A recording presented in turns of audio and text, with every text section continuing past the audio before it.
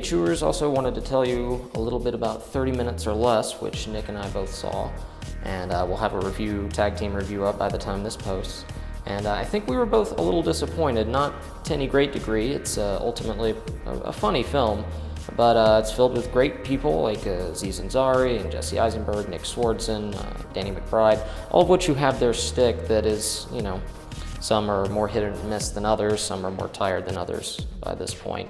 Um, it's from the director Ruben Fleischer, who did Zombieland, and uh, I think it's definitely uh, a step down from that first very confident, good horror comedy. This is more of an action comedy trying to be in the style of something like Midnight Run or, or a 70s action flick, and it, it doesn't really quite pull any of that off. Um, it's charming, it's good natured, there's nothing offensively stupid about it.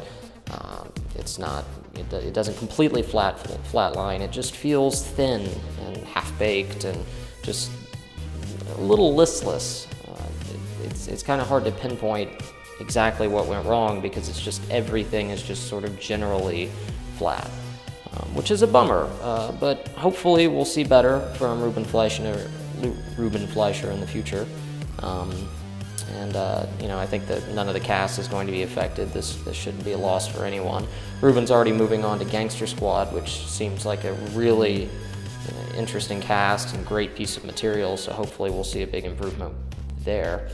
Uh, so yeah, that's 30 minutes or less. I visited the set last year. You can check out the set visit report from that. And again, our review will be up by the time this you're watching this. When you enter a dark room and turn on the lights, that thing that scurries under the counter is the Final Destination series. It's like this bizarre little roach of a franchise that somehow perseveres. And this week, there's a new one coming out.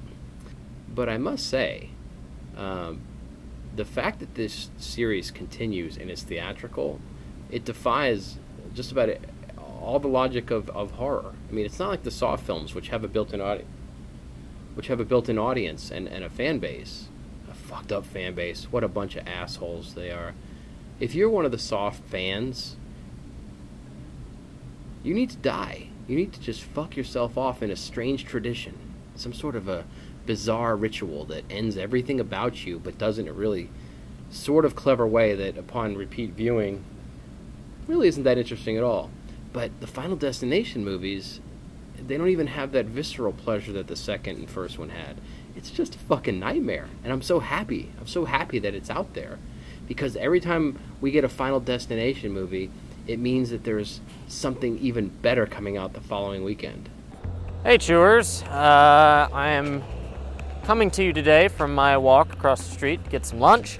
And I thought I'd tell you a little bit about a movie I saw last night called Final Destination 5. Uh, now, I'm not super ultra familiar with uh, the Final Destination series. I've seen a couple of them. Uh, don't follow them. Uh, but it's known, I think, for being a relatively harmless horror franchise with a few good gags. But ultimately, the kind of thing that can be reduced to a few minutes of a YouTube video, which uh, has been happening, as I think every kill of the entire franchise has been spread around across a video this week leading up to the film.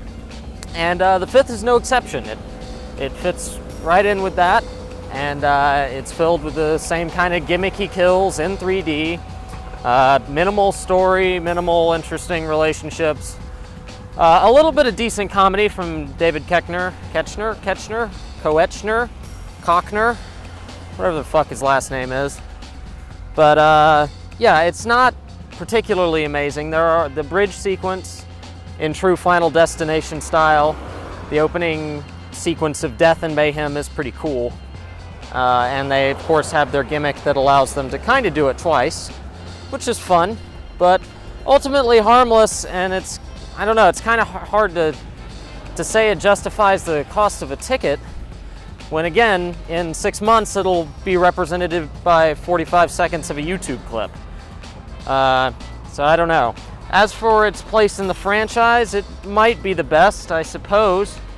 But this is not a Fast and the Furious type thing where, you know, the fifth is a surprisingly good movie. It remains one of those franchises that's kind of still bafflingly in theaters. So, uh, yeah, if you, if you need something some kind of diversion in the theaters, a little bit of 3D Gru, then go for it. The 3D is nice. They use it well. They toss a lot of gags in.